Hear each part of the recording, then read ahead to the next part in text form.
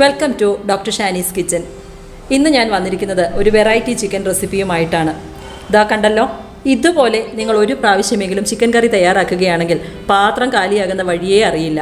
ചൂട് ചോറിന്റെ കൂടെ ചപ്പാത്തിയുടെ കൂടെ നാനിന്റെയോ റൊട്ടിയുടെയോ പൊറോട്ടയുടെയോ ഒക്കെ കൂടെ കഴിക്കാൻ പറ്റുന്ന നല്ല ടേസ്റ്റി ആയിട്ടുള്ള ഒരു വെറൈറ്റി ചിക്കൻ റെസിപ്പിയുമായിട്ടാണ് ഇന്ന് ഞാൻ വന്നിരിക്കുന്നത്.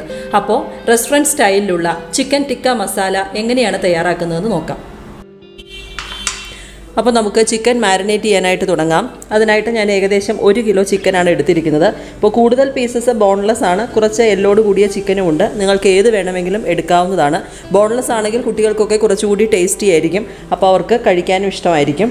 അപ്പോൾ നമുക്ക് ആദ്യം തന്നെ ഈ ചിക്കൻ ഒന്ന് മാരിനേറ്റ് ചെയ്യണം. മാരിനേറ്റ് ചെയ്യുന്നതിനായിട്ട് ഞാനിവിടെ ഒരു ടീസ്പൂൺ മഞ്ഞൾപ്പൊടി എടുത്ത് വെച്ചിട്ടുണ്ട്. നമുക്ക് അത് ചേർത്ത് കൊടുക്കാം. ഇനി നമുക്കിതിലേക്ക് എരിവിനായിട്ട് നല്ല എരിവുള്ള മുളക് പൊടി ഒരു രണ്ട് ടീസ്പൂൺ ചേർത്ത് കൊടുക്കാം. ടേബിൾ സ്പൂൺ അല്ല ടീസ്പൂണാണ് ഞാൻ എടുത്തിരിക്കുന്നത്. രണ്ട് ടീസ്പൂൺ മുളക് പൊടി ചേർത്ത് കൊടുക്കാം.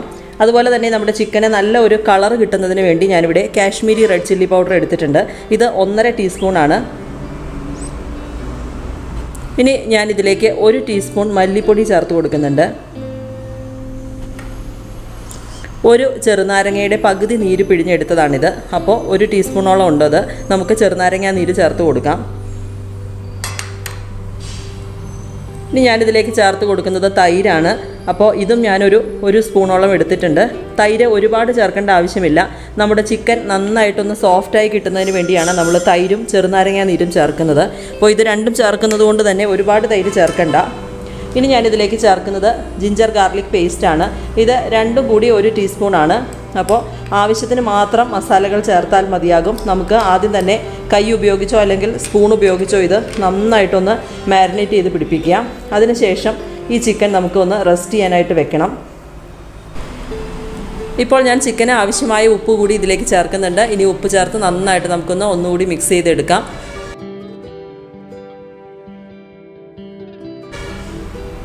ചിക്കൻ ഇവിടെ നന്നായിട്ട് മാരിനേറ്റ് ചെയ്ത് എടുത്തിട്ടുണ്ട്. ഈ ചിക്കൻ നമുക്ക് ഒരു അരമണിക്കൂർ മുതൽ ഒരു മണിക്കൂർ സമയം വരെ നന്നായിട്ടൊന്ന് റെസ്റ്റ് ചെയ്യാനായിട്ട് വെക്കണം. അപ്പോൾ നിങ്ങൾക്ക് സമയമുണ്ടെങ്കിൽ ഒരു മണിക്കൂർ വരെ വെക്കുന്നതാണ് നല്ലത്.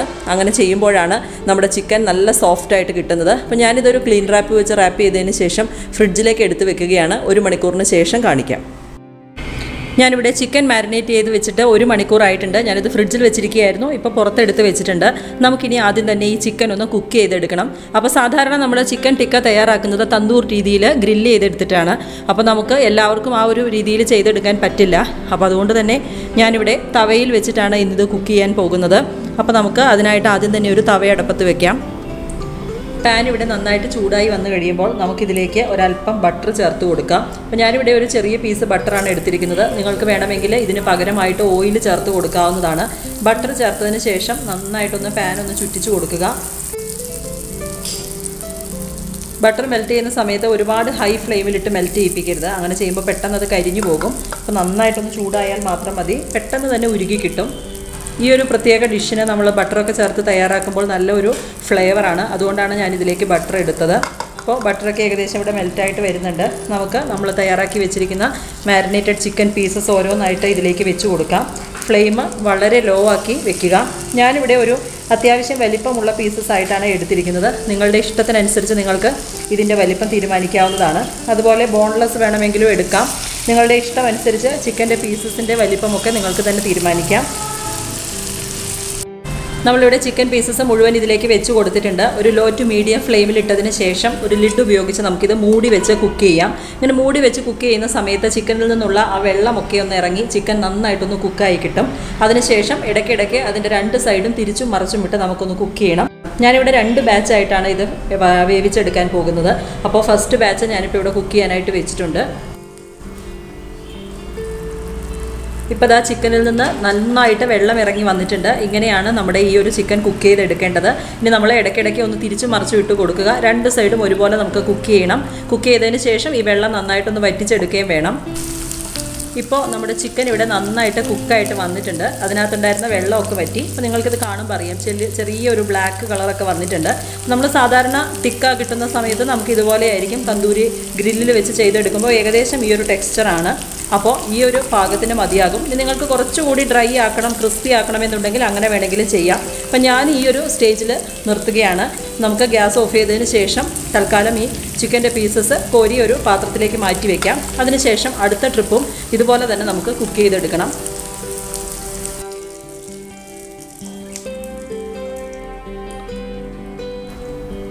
ഞാനിവിടെ മുഴുവൻ ചിക്കനും ഇതുപോലെ തന്നെ കുക്ക് ചെയ്ത് മാറ്റി വെച്ചിട്ടുണ്ട്. നമുക്കിനി ഇതിലേക്ക് വേണ്ട മസാല തയ്യാറാക്കാം. മസാല തയ്യാറാക്കുന്നതിനായിട്ട് ഞാനിവിടെ ഒരു കടായി അടപ്പത്ത് വെച്ചിട്ടുണ്ട്. കടായി ചൂടായി വരുമ്പോൾ നമുക്കിതിലേക്ക് രണ്ട് സ്പൂൺ സൺഫ്ലവർ ഓയിലാണ് ഞാനിപ്പോൾ ചേർത്ത് കൊടുക്കുന്നത്. അപ്പോൾ നിങ്ങൾക്ക് താല്പര്യമുണ്ടെങ്കിൽ ഇതിലേക്ക് ബട്ടർ ചേർത്ത് കൊടുക്കാം. ഓയിൽ ഇവിടെ നന്നായിട്ട് ചൂടായി വന്നിട്ടുണ്ട്. ഫ്ലെയിം ഒന്ന് കുറച്ച് കൊടുത്തതിന് ശേഷം നമുക്കിതിലേക്ക് വളരെ നൈസായിട്ട് അരിഞ്ഞ സവാള ചേർത്ത് കൊടുക്കാം. ഞാനിവിടെ എടുത്തിരിക്കുന്നത് രണ്ട് സവാളയാണ്. അത് വളരെ നൈസായിട്ട് ചോപ്പറിൽ അരിഞ്ഞെടുത്തതാണ്. നിങ്ങൾക്ക് ചോപ്പർ ഇല്ലെങ്കിൽ ഇതുപോലെ കൈ ഉപയോഗിച്ച് വളരെ നൈസായിട്ട് അരിഞ്ഞെടുക്കുക. അപ്പോഴാണ് നമ്മുടെ ഗ്രേവിയൊക്കെ നല്ല തിക്കായിട്ട് കിട്ടുകയുള്ളൂ. സവാള ചേർത്ത് കൊടുത്തതിന് ശേഷം നമുക്ക് ഈ സവാള ഒന്ന് വഴന്ന് കിട്ടുന്നതിന് വേണ്ടി ഇതിലേക്ക് ആവശ്യമായ ഉപ്പ് ചേർത്ത് കൊടുക്കാം. അപ്പോൾ നമ്മുടെ സവാള പെട്ടെന്ന് തന്നെ വാടി കിട്ടും. നമ്മുടെ സവാള ഇവിടെ ഒന്ന് ട്രാൻസ്പെറന്റ് ആയിട്ട് വന്നിട്ടുണ്ട്. ഇത്രയും പോരാ. നമുക്ക് സവാള നല്ല ഒരു ഡാർക്ക് കളറിലേക്ക് നന്നായിട്ട് സോഫ്റ്റായിട്ട് വെന്ത് കിട്ടണം. അപ്പോൾ നന്നായിട്ട് വഴറ്റി കൊടുക്കുക. ഇപ്പോൾ ജസ്റ്റ് ട്രാൻസ്പെറന്റ് ആയി ഈ ഒരു സമയത്ത് നമുക്കിതിലേക്ക് ഒരല്പം ഇഞ്ചി വെളുത്തുള്ളി പേസ്റ്റ് ചേർത്ത് കൊടുക്കാം. അപ്പോൾ ഞാനിവിടെ ഒരു ടീസ്പൂണാണ് രണ്ടും കൂടെ എടുത്തിരിക്കുന്നത്. ജിഞ്ചർ ഗാർലിക് പേസ്റ്റ് നിങ്ങളുടെ കയ്യിൽ പേസ്റ്റ് ഇല്ല എങ്കിൽ നിങ്ങൾക്ക് നന്നായിട്ട് അത് ക്രഷ് ചെയ്തിട്ട് ചേർത്താലും കുഴപ്പമില്ല. പക്ഷേ ഈ ഒരു ചിക്കൻ ടിക്ക മസാലയുടെ കറിയിൽ ഗ്രേവി നല്ല ക്രീമി ആയിട്ടുള്ളൊരു ടെക്സ്ചറാണ് അപ്പോൾ അതിന് എപ്പോഴും ജിഞ്ചർ ഗാർലിക് പേസ്റ്റ് ചേർക്കുന്നതാണ് നല്ലത്. നന്നായിട്ടൊന്ന് സോട്ട് ചെയ്യുക. നമ്മുടെ സവാള ഇവിടെ നന്നായിട്ടൊന്ന് വഴന്ന് വന്നിട്ടുണ്ട്. വളരെ സോഫ്റ്റ് ആയിട്ട് വന്നു. ഒരുപാട് ഡാർക്ക് ബ്രൗൺ കളർ ആകണ്ട. ഈ ഒരു പാകത്തിന് മതിയാകും. അപ്പോൾ ഞാനിതിലേക്ക് ഇനി തക്കാളിയുടെ പേസ്റ്റ് ചേർക്കുകയാണ്. ടൊമാറ്റോ പ്യൂരിയാണിത്. രണ്ട് നന്നായിട്ട് പഴുത്ത തക്കാളിയായിരുന്നു. ഇടത്തരം വലിപ്പമുള്ള തക്കാളിയാണ്. അപ്പോൾ നിങ്ങളുടെ കയ്യിൽ വലിയ തക്കാളിയാണെങ്കിൽ ഒരെണ്ണം മതിയാകും. ഈ ഒരു തക്കാളി ഞാനതിന്റെ ഞെട്ട് കളഞ്ഞതിന് ശേഷം മിക്സിയിലിട്ട് നന്നായിട്ട് അരച്ചെടുത്തതാണ്. അപ്പോൾ നമുക്ക് ഇത് ചേർത്ത് കൊടുക്കാം. നമ്മൾ തക്കാളി അരച്ചത് ചേർത്ത് കൊടുക്കുന്ന സമയത്ത് നന്നായിട്ട് ഒരു അഞ്ച് മിനിറ്റെങ്കിലും വഴറ്റിയെടുക്കണം. അതിന്റെ പച്ച ടേസ്റ്റൊക്കെ നന്നായിട്ട് മാറിയില്ലെങ്കിൽ നമ്മൾ തയ്യാറാക്കുന്ന കറിയുടെ ടേസ്റ്റ് തന്നെ എന്റയർലി ഡിഫറെന്റ് ആയിരിക്കും. അപ്പോൾ അത് നിങ്ങൾ പ്രത്യേകം ശ്രദ്ധിക്കുക. വളരെ ലോ ഫ്ലെയിമിൽ ഇട്ടതിന് ശേഷം നന്നായിട്ടൊന്ന് വഴറ്റി കൊടുക്കണം. ശരിക്ക് തക്കാളി കുക്കായാൽ മാത്രമാണ് നമ്മുടെ കറിയും അതുപോലെ തന്നെ നല്ല ടേസ്റ്റി ആയിട്ട് കിട്ടുകയുള്ളൂ.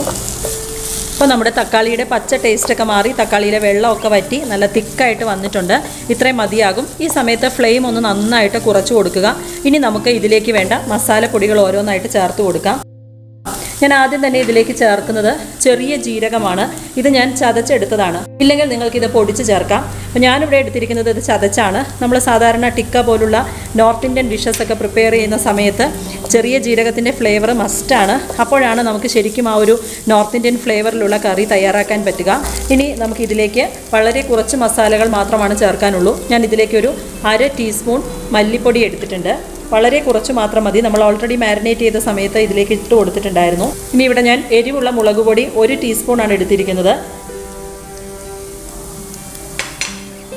നമ്മുടെ കറിക്ക് നല്ല ഒരു കളർ കിട്ടുന്നതിന് വേണ്ടിയിട്ട് ഞാനിവിടെ ഒരു ഒന്നര ടീസ്പൂണോളം കാശ്മീരി റെഡ് ചില്ലി പൗഡർ ചേർത്തിട്ടുണ്ട്. നമ്മൾ റെസ്റ്റോറന്റിൽ നിന്നൊക്കെ കറി മേടിക്കുന്ന സമയത്ത് നല്ല ഒരു റെഡ് കളറായിരിക്കും ചിക്കൻ ടിക്ക മസാല. അതിനകത്ത് അവർ പെർമിറ്റഡ് ഫുഡ് കളേഴ്സ് ചേർക്കുന്നതാണ്. നമ്മൾ വീട്ടിൽ തയ്യാറാക്കുന്ന സമയത്ത് നമുക്കതിനകത്ത് ഫുഡ് കളർ ചേർക്കേണ്ട ആവശ്യമില്ല. നന്നായിട്ട് ഈ പൊടികളുടെ പച്ചമണം മാറുന്നത് വരെ ഒന്ന് വഴറ്റി കൊടുക്കുക. ഇനി ഇതിലേക്ക് ഒരു അര ടീസ്പൂൺ മുതൽ ഒരു ടീസ്പൂൺ വരെ ഗരം മസാല പൊടിച്ചത് ചേർത്ത് കൊടുക്കാം. നിങ്ങളുടെ ഫ്ലേവറിനനുസരിച്ച് നിങ്ങൾക്ക് ഗരം മസാല ചേർക്കാം. എല്ലാ പൊടികളുടെയും പച്ചമണം മാറുന്നത് വരെ വഴറ്റി കൊടുക്കാം. ഈ ഒരു സമയത്ത് നിങ്ങൾക്ക് ഓയിൽ കുറവാണെന്ന് തോന്നുകയാണെങ്കിൽ ഒരല്പം ഓയിൽ വേണമെങ്കിൽ ചേർത്ത് കൊടുക്കാം. ഞാനിപ്പോൾ ഇതിലേക്ക് ഇനി ഓയിൽ ചേർക്കുന്നില്ല. നന്നായിട്ട് നമുക്ക് മസാലകളൊക്കെ ഒന്ന് വഴറ്റി കൊടുക്കാം. ഇപ്പോൾ മസാലയുടെയൊക്കെ ഒരു പച്ചമണം മാറി നല്ല ഒരു ഫ്ലേവറാണ് ഇവിടെ. ഈ ഒരു സമയത്ത് നമുക്കിതിലേക്ക് നല്ല തിളച്ച ചൂടുവെള്ളം ചേർത്ത് കൊടുക്കണം. ഒന്നര മുതൽ രണ്ട് കപ്പ് വരെ വെള്ളം ചേർത്ത് കൊടുക്കണം. ഒരു കാര്യം പ്രത്യേകം ശ്രദ്ധിക്കുക. ഒരു കാരണവശാലും പച്ചവെള്ളം ചേർത്ത് കൊടുക്കരുത്. നല്ല ചൂടുവെള്ളം തന്നെ ചേർത്ത് കൊടുക്കണം. നമ്മുടെ ഗ്രേവി ഇവിടെ നന്നായിട്ട് തിളയ്ക്കുന്നുണ്ട്. ഈ സമയത്ത് ഞാനിതൊന്ന് ടേസ്റ്റ് ചെയ്ത് നോക്കി. അപ്പോൾ എനിക്കിതിൽ ഉപ്പ് കുറവായിരുന്നു. ഞാൻ ഇതിലേക്ക് ഒരല്പം ഉപ്പ് കൂടി ചേർത്ത് കൊടുക്കുന്നുണ്ട്. ഉപ്പ് ചേർത്ത് കൊടുത്തതിന് ശേഷം നമുക്കൊന്ന് മിക്സ് ചെയ്ത് കൊടുക്കാം. ഇനി നമുക്കിതിലേക്ക് നമ്മൾ കുക്ക് ചെയ്ത് വെച്ചിരിക്കുന്ന ചിക്കന്റെ പീസസ് ഇട്ട് കൊടുക്കാം.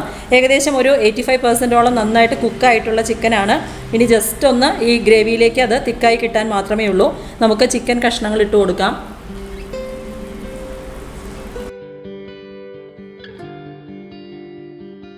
ചിക്കൻ കഷ്ണങ്ങൾ മുഴുവൻ ഞാൻ ഇതിലേക്ക് ഇട്ട് കൊടുത്തിട്ടുണ്ട്. ഇനി ഈ ഗ്രേവി ഒന്ന് നന്നായിട്ട് കുറുകി വരുന്നത് വരെ നമുക്കിത് ഒരു മീഡിയം ഫ്ലെയിമിലിട്ട് കുക്ക് ചെയ്യാം. അപ്പോൾ നിങ്ങൾക്ക് വേണമെങ്കിൽ ഇത് അടച്ചു വെച്ച് കുക്ക് ചെയ്യാം. പക്ഷേ നമ്മുടെ ചിക്കൻ ഓൾറെഡി വെന്തതായതുകൊണ്ട് ഞാൻ ഇനി ഇതിനകത്ത് കുക്ക് അടച്ചു വെക്കുന്നില്ല. നമുക്ക് ഈ ഒരു സമയത്ത് ഒരല്പം മല്ലിയില ചേർത്ത് കൊടുക്കാം.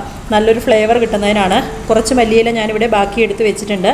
നമുക്ക് അത് ഗാർണിഷ് ചെയ്യുന്നതിനായിട്ട് ലാസ്റ്റ് ഇതിലേക്ക് ആവശ്യമുള്ളതാണ്. അപ്പോൾ മല്ലിയില ചേർത്ത് കൊടുത്തിട്ട് നന്നായിട്ടൊന്ന് മിക്സ് ചെയ്ത് കൊടുക്കാം.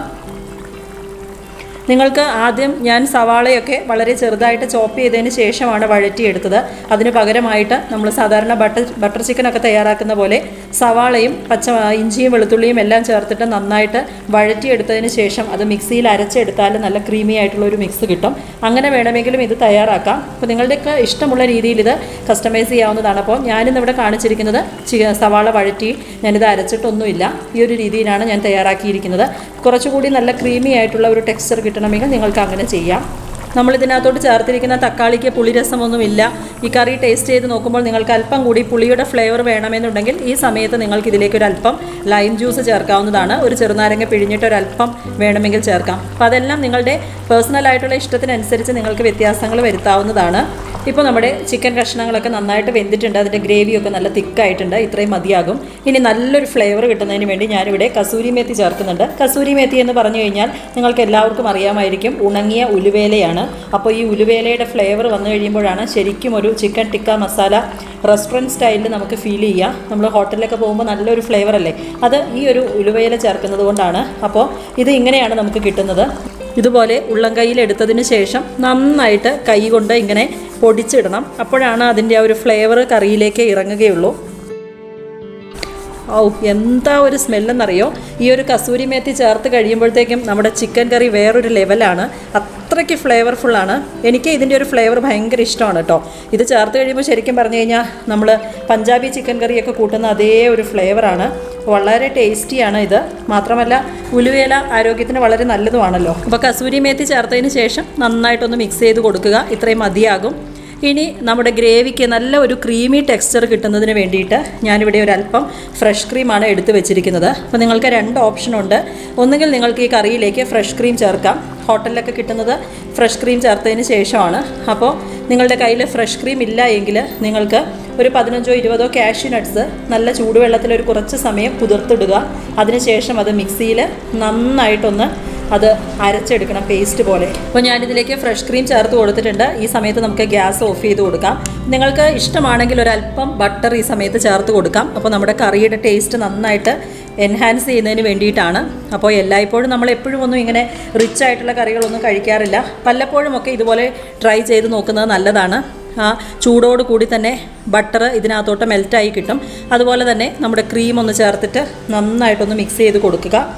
ക്രീം ചേർത്തതിന് ശേഷം നമ്മൾ ഒരുപാട് സമയം തിളപ്പിച്ച് കഴിഞ്ഞാൽ ഈ കറി ഒന്ന് പിരിഞ്ഞു പോകാൻ സാധ്യതയാണ്. അപ്പോൾ അത് നിങ്ങൾ പ്രത്യേകം ശ്രദ്ധിക്കുക.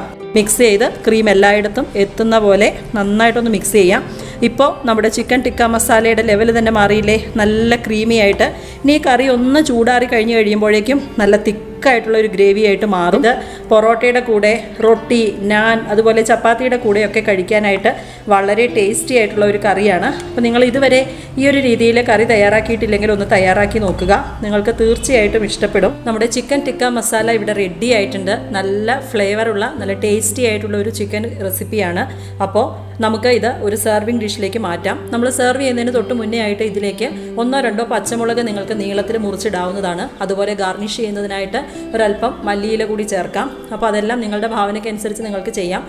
വളരെ ഈസി ആയിട്ട് നമുക്ക് തയ്യാറാക്കാൻ പറ്റും. റെസ്റ്റോറന്റിൽ കിട്ടുന്ന അതേ ടേസ്റ്റിൽ തന്നെ നമുക്ക് വീട്ടിലും തയ്യാറാക്കാൻ പറ്റും.